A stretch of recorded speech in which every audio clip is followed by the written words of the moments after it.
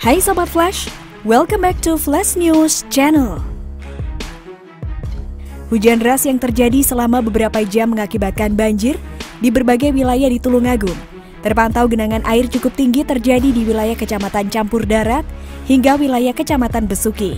Sepanjang jalan dari Boyolangu ke arah selatan hingga memasuki jalur Pantai Popo, terlihat air menyeberangi jalan menuju lokasi yang lebih rendah.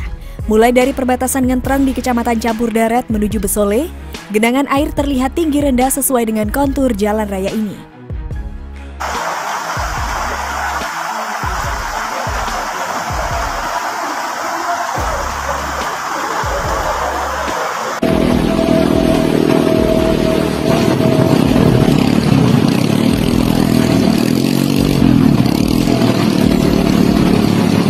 Genangan air terjadi hampir tiap curah hujan tinggi, Pasalnya, jalur dari campur darat ke wilayah Tulungagung bagian selatan ini berada di kaki pegunungan yang sudah dalam kondisi kritis alias gundul.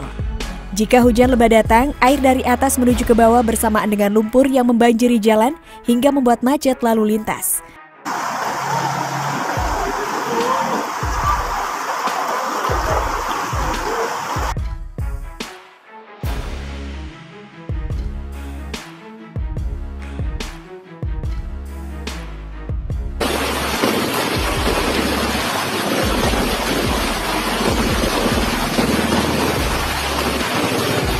Hingga saat ini belum ada keterangan resmi dampak yang terjadi akibat meluapnya air ini, termasuk jumlah kerusakan atau warga terdampak secara fisik. Waduh, waduh, semoga warga sekitar baik-baik saja ya.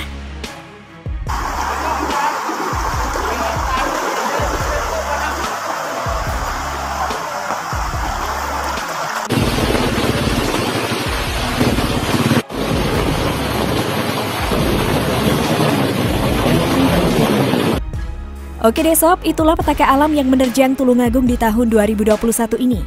Jangan lupa untuk berikan komentar kalian di bawah ini ya.